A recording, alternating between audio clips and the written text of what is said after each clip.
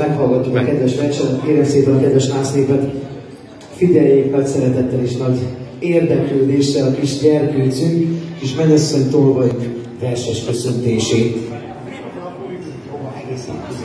Itt jó.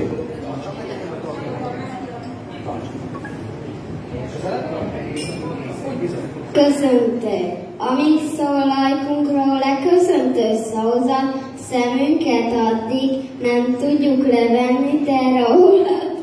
Olyan gyönyörű vagy, kedves keresztanyu, hogy Csabit is végleg meg tudtad ikézni.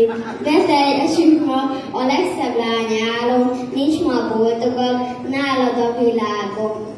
Azt kívánjuk nektek, e kis versikében, házatokba a hú, soha be ne térjen. Boldogság verjen fel, ti nálatok tanyát, mielőbb üljön többfősre a család. Én csak azt tudom hozzátenni, kedves vendégek is, jó étvágyat kívánok újra vacsorához, hogy a kicsi pajtásunknak minden szava váljon valóra. Kedves ifjú, kérem szépen foglaljatok helyet az